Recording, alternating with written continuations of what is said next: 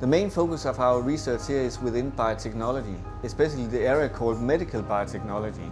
So what we basically do is that we take the soldiers of the body, the antibodies, and we take them out of your body and into the lab. And in the lab we can generate more and new soldiers to fight disease in a better way.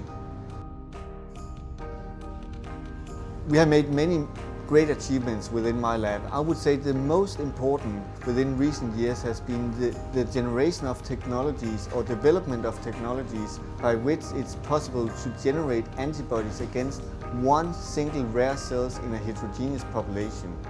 For example, a circulating cancer cell in the blood of a cancer patient.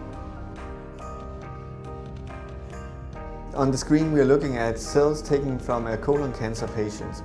What you see is the cells the, from the blood of the colon cancer patient. In yellow you see the cancer cells. These cells are yellow because we made them yellow by the antibodies that we have created.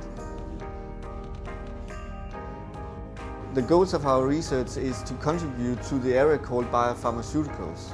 Within this area, therapeutic antibody reached a sale in 2013 of $63.5 billion. This is around 20% of the Danish gross national product. We would like to contribute to this market.